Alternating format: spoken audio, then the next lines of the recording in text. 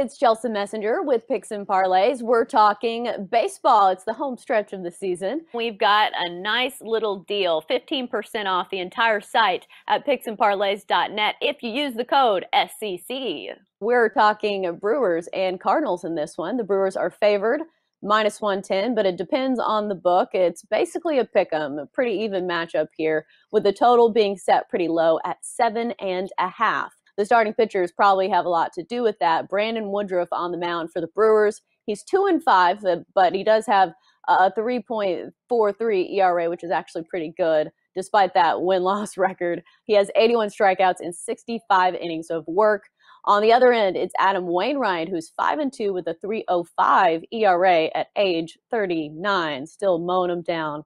Scott Rickenbach joining us to talk this game. Scott, what stands out to you when you look at this one? Well, one of the keys to me uh, for me in this matchup is uh, that had to take place today was the doubleheader and the Brewers winning game one of that doubleheader, which they did because that that tightens the race. And so, no matter what happens in game two of that doubleheader, we're making this recording, of course, on Friday evening for Saturday's action.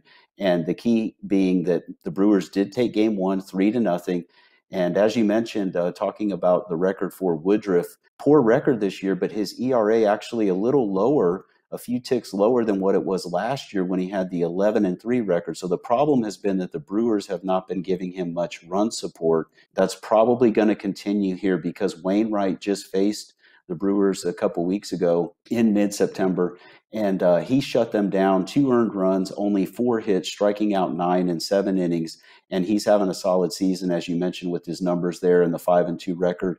This looks like a pitcher's duel to me, and especially with the playoff pressure. You know, when guys are, we saw uh, a game on Thursday night, just as an example, the Orioles and the Red Sox Game didn't matter for either team. Baltimore put up 13 runs in that game because they're at the plate, they're they're loose, they're relaxed, they're they're just swinging away. It's a much different situation when you're dealing with playoff pressure. And in this case, with two solid pitchers on the mound and coming off a doubleheader the day before, I think the guys are still going to be uh, squeezing the sticks a little bit tight in this matchup, and we're going to see a pitcher's duel in this one, in my opinion. Right. I would like an under in this one as well. It's not my official play just because I think I'd like a strikeout prop even better just because both of these teams strike out a lot. The Cardinals actually have struck out the most of any team in baseball in the month of September, entering Friday night, those games not included. And also the Brewers, second most strikeouts of all season uh, of any team in baseball. So